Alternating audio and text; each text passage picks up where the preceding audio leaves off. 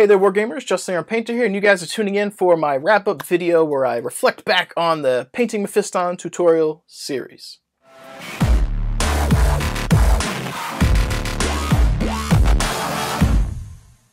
like to welcome you guys back today. Thank you for tuning in. If you're watching this, then either you stumbled across it, which is unlikely, or you have just finished my Painting Mephiston tutorial series, and oh, it's so good to be done. Uh, at this point, as I'm filming this, I still have uh, nine, nine videos to edit, including this one, so I guess technically 10, but nine tutorial segments from this series to edit, and the hard part's done, the easy part's ahead of me, but it's still going to be time consuming. So uh, big thank you to you guys who have allowed this to happen. Thank you for everyone who has hung out to, during my streams to help motivate me in, in regards to what I do. Thank you for everyone who has helped support me in every way possible to push this content forward. Just a big thanks. I appreciate it. I do want to talk for a moment today, though, about my experience thus far on painting Mephiston. Uh, so first and foremost, this um, this tutorial filming style that I've gone with was suggested by um, uh, Nomadic Chris from Twitch, uh, Chris from Facebook, and the Garrison. Um, he thought that breaking the video into segments would be a good idea. So I've tried something new. So one of the suggestions from the community, Incarnate, has been has been attempted, and we'll see how it goes.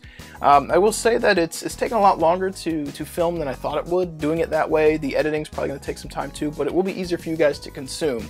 Uh, the unfortunate side effect is I didn't meet the January deadline. The, the, the idea was for me to do a tutorial every month. We missed January by a long shot. Uh, by the time this go starts going up, these are pro probably started in February sometime. Uh, but the miniature's done. It's in multi-segment uh, um, parts, so you guys can can see different techniques and learn as you go, which I think is good. Um, but I'm not sure how I'm going to move forward with forward forward with tutorials. Um, I like this format, but if I do something this detailed every month, there's no way I'm going to finish in time. Um, so I'm thinking about separating high detail pieces like this um, and doing and sprinkling in some tutorials that are easy to do so I can actually stay up to date with the once a month tutorial and save stuff like this for special occasions or um, bigger goals. This was a lot of effort, um, a, a, lot of effort, and it, whew, it killed me. Uh, I've had some long days, long nights thus far, and still more ahead of me, obviously, in, in regards to uh, working on the miniature, or not miniature, working on the, the editing for the, the, the footage.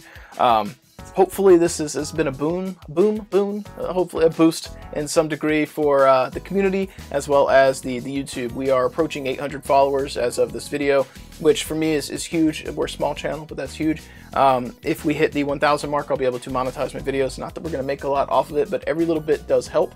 Um, you know, so sponsorships from the um, the miniatures and paint community out there, um, you know, contributions on Twitch, Patreon, all of those things, they really do help. And being able to monetize videos on YouTube would be good too. So hopefully this has been helpful in some way. And if you're watching this at this point and you haven't already, I encourage you to subscribe. Now, in terms of challenges for me during this this painting uh, process. Uh, finding the time's been difficult. Trying the techniques for the first time in a tutorial format has been eye-opening and honestly scared the shit out of me. Uh, it's it's been rough. Um, I will say as a an honest suggestion to you guys in terms of something you can do and, and take away from this, not only from the techniques, but something I would highly recommend you consider. is getting one of these. Maybe it's fun with it. Maybe it's a hair dryer. Yeah, uh, this has been a, a lifesaver. Um, if I had to wait on all that paint to dry naturally, holy crap, probably still be painting, probably still be on segment number four. Maybe not quite that bad, but you know what I mean.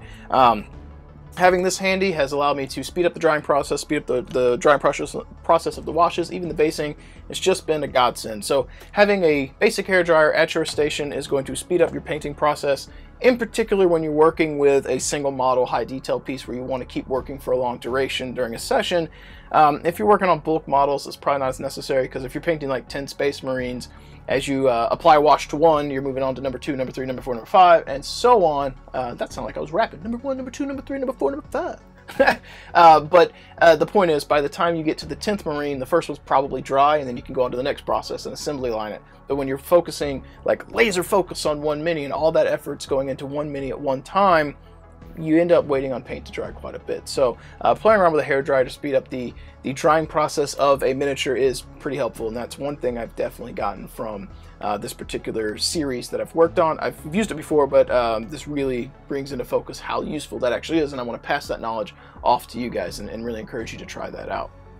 In addition to that, there's been some learning processes on my part, and I'd like to actually talk about those while I showcase the model here. I don't have any cool photos at this point, so it's just going to be me showcasing the model like I do during, a, during a tutorial, but I want to show you guys where we where I got to it and talk about the trials and tribulations, things that I've went through on it, and uh, I think it'd be pretty cool. So let's go ahead and uh, rotate over, and I'll uh, showcase Mephiston for you and let you see what I've done and uh, share with you all the things about Mephiston, the librarian, guardian of knowledge, something. Let's ramble over here. Whoop. Alright, so here is Mephiston. Let's just give him a quick little rotation here for you guys to see him.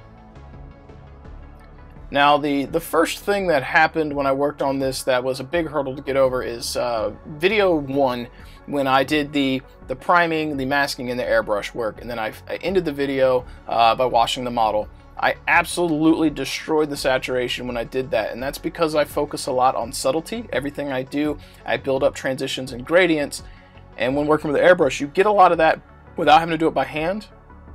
But during my process, I like to wash stuff. I like to build it up by hand, so uh, I wanted to bring all the colors together and get those dark colors in the recess, and instead of doing that, I just toned the whole thing down. We did get dark recesses, but I really obliterated all that work I did with the airbrush. So that was the first thing that I learned, is trying to rein that in and, and just determine whether I just want to get a, a nice base and transition with the airbrush and intend to come in and build it up by hand, or if I want to go with the contrast of the airbrush and leave it alone. Uh, that's one thing I learned. Now, in the end, I think it worked out because the robes look super good. This is some of the best work I think I've ever done. Um, uh, but that's not what I set out to do, so I did learn that. I also had a lot of fun working on the robes here, or his cloak. I think the transitions and gradients worked really well. If I had to do it again, I think having a, a brighter edge right on this one would have been good, or maybe even darken it up a little bit here, because it seems a little bit bright, but uh, as you lean back and look at it, it, it seems really nice, and that's a really extreme fold, and as it, it is peaking, Maybe that one being so much brighter than these is actually good, but in hindsight, I think having it resemble this one a little bit more, with that darker gray on the underside, might have been good. But this one actually kind of folds down, and that one is, is uh, flat up towards the sky. You can see that slight difference, so it made sense to be that bright gray.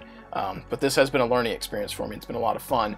Um, doing the freehand down here, that was uh, scary as shit, if I'm honest with you guys. It's not something I'm particularly good at. Um, I'm not 100% happy with it, but for my first attempt at doing serious freehand, I'm very happy with that.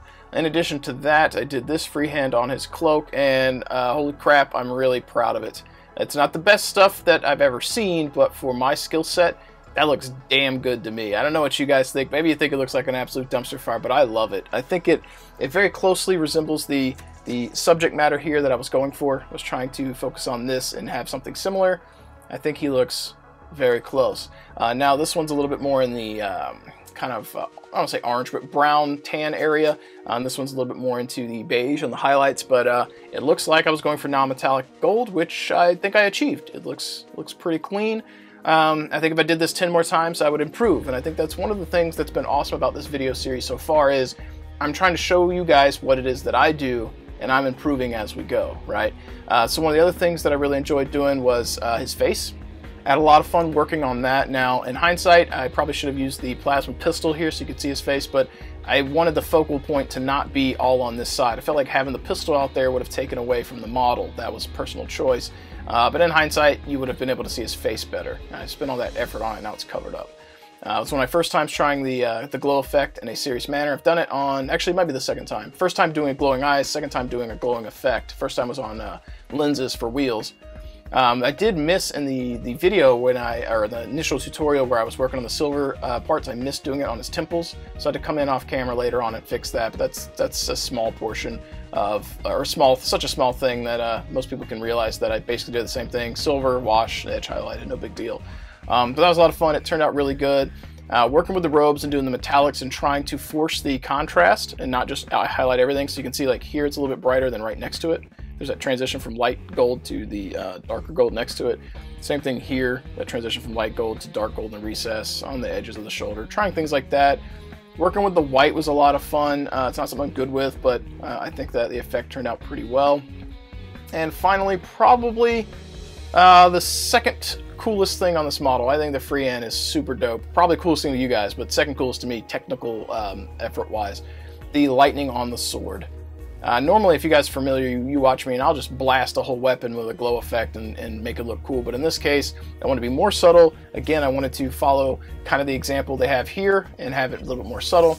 So I came in and we applied a little bit of that, that blue, hit it with some of the white lightning strikes or lightning arcs, hit it with the, uh, the inks from Green Stuff World, then came in with the white and built it back up a little bit. And I think that the subtlety is really nice. It's come together very well. And all in all, if I am honest, uh, this looks better than probably most of my miniatures, and I think this is in my top three I've ever painted. Um, I don't toot my own horn a lot. I try not to because I try and be humble um, as best as possible. But damn it, if I'm not happy with this Blood Angel bro, like Mephiston here looks so dope. It gives me hope for how cool, cool uh, um, Azrael is going to be when he comes out for the Dark Angels. I can't wait. But I absolutely love this model, and I'm really hoping that Wheels uh, enjoys it. I hope that it is a cool display piece for him. He appreciates the effort that I put into this, not only for the tutorial, but because this is a reward for his uh, Patreon pledge over on Patreon. I want him to know that I care. I want him to know that uh, I, I, take his contributions as well as all of you guys' contributions, uh, both in the monetary form and just support, seriously. Uh, it's very important to me to put out good content for you and let you know that I, I, appreciate you supporting me, being behind me. I appreciate all that you do for me, and that you know I, I take the content creation seriously. I got I want to give back to you. I want to make sure you're you're getting that return on investment. And, and some of you guys, you're just my friends, and you view it that way, and you want to support what I do, and you're not as worried about the content. You just want me to be happy and pursue my interests. But at the end of the day, you, are here and I paint. That's how we met. Most, at least with most of you, is how I met. So I, I want to make sure I'm giving back to you and doing doing right by you. So I poured my heart and soul in this model, and damn it, I love him. He looks super dope. I'd be I'd be very proud to, to enter this into a contest, but uh, it's it's going to be entered in the mail and sent to Wheels, and hopefully you guys enjoy. Hopefully you've learned something along the way here with me. And uh, as always, I encourage you guys to sign up in the comments below if you have any thoughts, suggestions, critiques, any of those things. I encourage you guys to engage with me. That would be super awesome. I'd love to hear what you have to say. On that note, folks, I don't want to uh, linger too much on Mephiston. Uh, I've had a blast working on them. Uh, I've learned a lot along the way. Uh, I had to overcome some fear, obviously. Uh, I'm not particularly good with freehand. I, I made it through. It looks looks okay. The freehand on the uh, the cape, on the other hand, real good, I think, uh, for my skill set. Uh, I'm not super good with freehand. I'm not super good with non-metallic metals, and I did freehand with non-metallic metal sort of look, and I think it turned out really nice. Um, as always, though, if you guys have made it to this point in the video, I encourage you to smash that subscribe button for the Wheel of Sanguinius, for Mephiston, for the support. Consider subscribing to the channel. Come on, you know you want to. The Emperor demands it, kind of. I, I guess I guess you can't really take demands from the guy on the Golden Throne who's not technically alive, so uh, I'm not going to demand it, but I'll ask nicely would you like to subscribe to my channel? uh, if, uh, if you haven't already, I encourage you to like this video and drop a comment below. If you have any thoughts, critiques, suggestions, anything at all, I'd love to engage with you in a conversation. So uh, sound off below, let me know what you think. Uh, if you uh, followed this tutorial series thus far and you finally finished a miniature of your own, maybe your own Mephiston, or have used uh, some of these techniques on some of your own stuff, drop some, some links in the description below, or not description, in the, the comments below. Let us see your Instagram. if you haven't already, I encourage you to check out our Discord and Facebook communities where you can engage with us when I'm not live or when I'm not putting up content here on YouTube, you can still engage with me and other artists and gamers as well. If you'd like to help support the channel, I encourage you guys to check out deathraydesigns.com. Coupon code GETAMPED10 will save you 10%. A portion of that will come back to me in the form of a bonus check, which will allow me to continue to poo, to uh, produce video, continue to poo, continue to uh, produce videos like this, continue to stream, and uh, ultimately allow me to pick up more models, more paints, more tools, and things like that that I get to use during live streams, during these videos, as well as on the tabletop.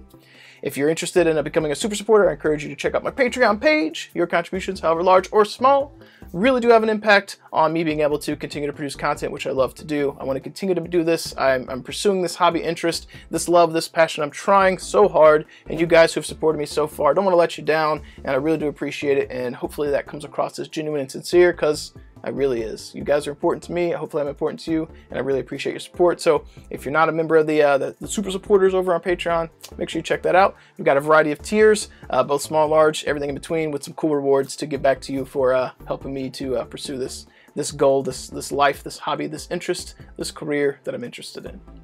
On that note, folks, we're going to go ahead and sign off today. I've had a blast working on Mephiston. Hope you've enjoyed this so far. Hope you've enjoyed listening to me babble, but it's time to go. So as always, keep painting those models, keep rolling those dice, and I'll catch you next time.